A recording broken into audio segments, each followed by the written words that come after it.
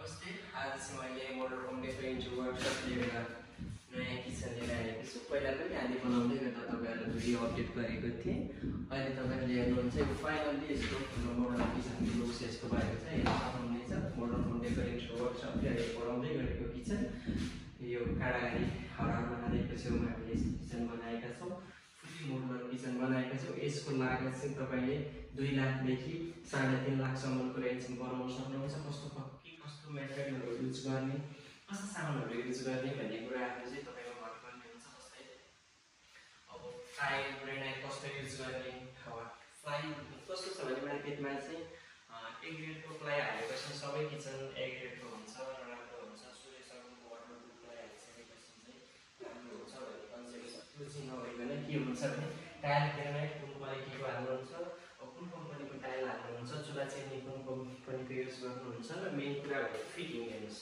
तपाईँले यो ह्यान्डल भयो जुन यो फिटिङहरू हुन्छ नि यो धारा भयो सिङ्क भयो यसरी सिङ्क तपाईँको अब कस्तो टाइपको सिङ्क हाल्नुभएको छ ह्यान्डमेड सिङ्क हाल्नुभएको छ कि लोकल सिङ्क हाल्नुभएको छ त्यसमा कुरा थाहा हुने हुन्छ।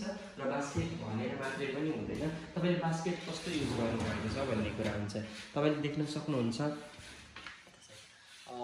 यो बास्केट चाहिँ तपाईँको पाइप बास्केट रहेको छ। वायर बास्केट हुन्छ नि नर्मल बास्केट हाल्यो भने चाहिँ अलिकति सस्तो हुन्छ। अनि मोडलर किचन बनाउँदा यो च्यानल छ नि यो यो चिज चाहिँ हामीले स्टिलको हाल्नुपर्छ एसएस हन्ड्रेड पर्सेन्ट एसएस हुनुपर्ने हुन्छ। अब यस्ता फिटिङका सामानहरूले चाहिँ मेन यसको रेट निर्धारण गर्छ।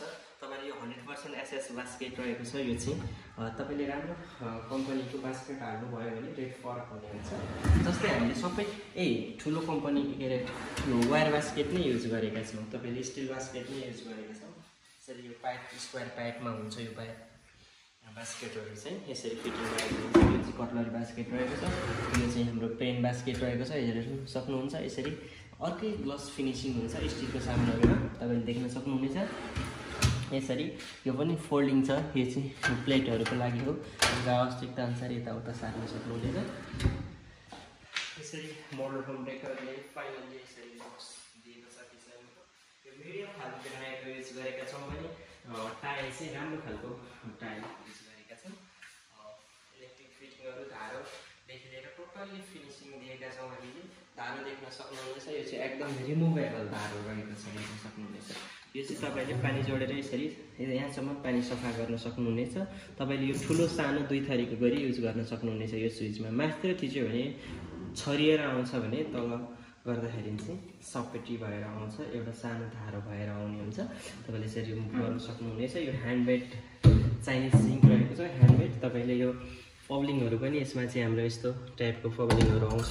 पब्लिङहरू पनि हेर्न सक्नुहुनेछ यसरी फोहोरहरू यहाँ जम्मा भएर बस्ने हुन्छ। पानी यो लगाइसकेपछि पानी तपाईँको तल सुइन्छ अनि हामीले यहाँ जिटिपिटीको युज गरिदिएका छैनौँ। किनभने जिटिपिटीको युज गर्दाखेरि युजलेस जस्तै हुन्छ र माथि अब एकदम गाह्रो हुने अलिकति त्यो अप्ठ्यारो हुने भएको कारणले गर्दा यसमा हामीले जिटिपिटी ग्लास प्लेट भन्ने एउटा हुन्छ यसको युज नगरिकन हामीले सेल्फ राखिदिएका छौँ तपाईँको आवश्यकता अनुसारको सामानहरू युज गर्न सक्नुहुन्छ यहाँ ओभनको लागि स्पेस छोडिदिएका छौँ तपाईँहरूले ओभन राख्न सक्नुहुनेछ माइक्रो ओभन ओभन अब यसरी नर्मल स्पेस नै गरिदिएका छौँ यो कर्नर रहेको छ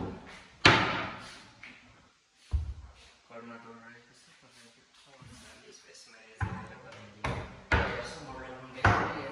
लागि एल्डा कम्पनीको चिम्नीको युज गरेका छौँ तपाईँले यो चाहिँ एसएस बडीमा रहेको छ यो चाहिँ एसएस स्टिलको बडीमा हामीले चिम्नी बनाएका छौँ यसरी बनाइदिएका छौँ यसको लाइट छ सक्सन पावर यसको ब्यालेन्स राखेको छ भने अब तपाईँले तल देख्न सक्नुहुनेछ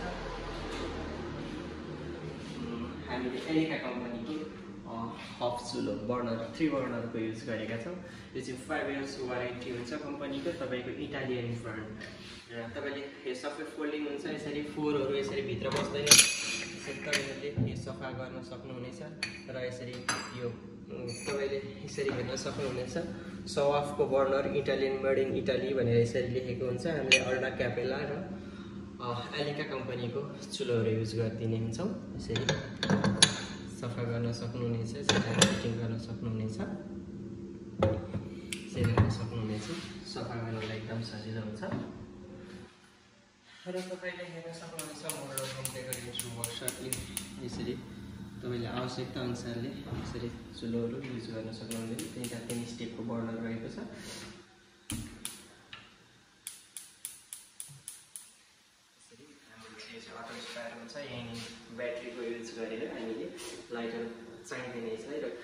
कतिपय स्थितिमा के छ भने यो ग्लास फुट्ने अनि तपाईँको अलिकति त्यो धेरै घटनाहरू त्यस्तो आइरहेको छ। तपाईँहरूले चुलो किन्दाखेरि के विशेष गरी के ध्यान दिनु पऱ्यो भने सकेसम्म स्टिल बडीमा किन्नु टेबल टपमा किन्नुहुन्छ भने यदि अब चुलो किन्नुहुन्छ भने सस्तो कम्पनीको त्यो पन्ध्र बिस हजारसम्मको चुलोहरू अनि फ्ल्याट पेनको चुलोहरू नकिनिदिनु होला तपाईँले अब अहिले त हेरेर अब सस्तो हेरेर किनिदिनुहुन्छ पछि ग्लास फुट्ने त्यो सम्भावना हुन्छ। सकेसम्म ब्रान्डेड नाम चलेको कम्पनीहरूको किनिदिनु भयो भने तपाईँहरूलाई पछि सजिलो हुन्छ।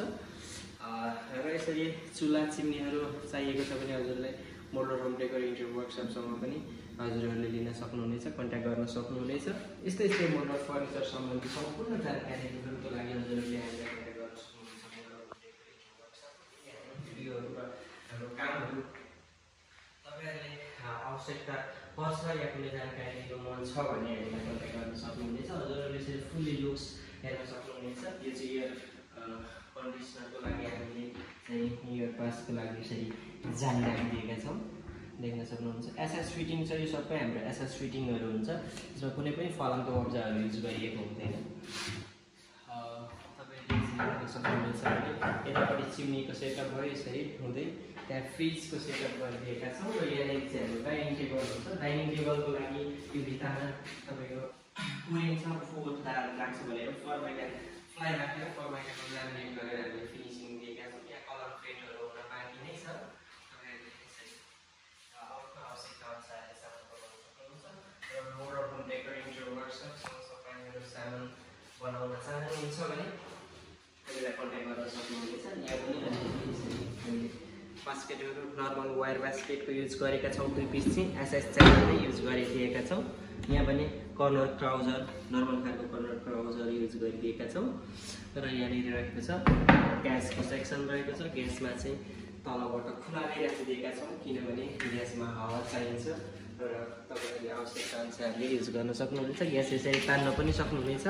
तपाईँले बोकेर गर्नु पर्दैन यसमा एउटा टली पनि हामीले एउटा दिएका छौँ यसरी।